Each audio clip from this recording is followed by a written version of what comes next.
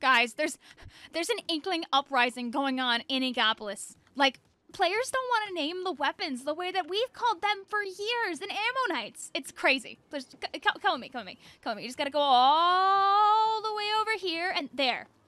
Look at that. How how do you even charge with that? Come on.